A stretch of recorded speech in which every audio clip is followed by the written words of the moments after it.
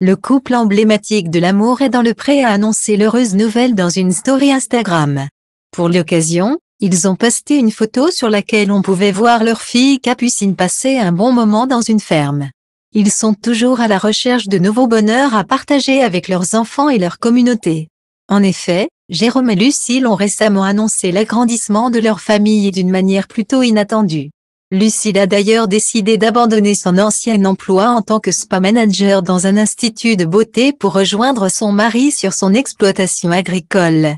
Une décision qu'elle ne regrette nullement, compte tenu du bonheur et de l'équilibre dans lesquels le couple vit actuellement.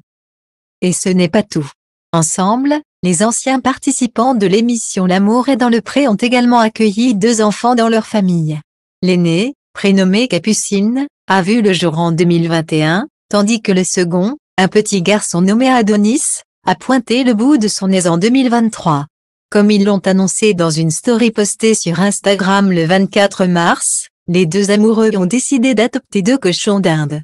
Ils ont rencontré les petits animaux lors de leur déplacement à Caluire, dans une ferme pédagogique tenue par leurs amis et en sont tombés amoureux. Sur le cliché que les deux anciens participants de l'amour et dans le pré ont partagé, on peut d'ailleurs voir leur fille caresser l'un des rongeurs blancs. Un vrai bonheur pour la petite qui n'a Dieu que pour le petit animal à fourrure.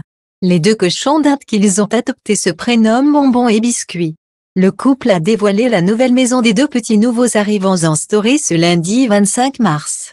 En tout cas, souhaitons au couple et à leurs deux enfants tout le bonheur dans cette nouvelle aventure familiale.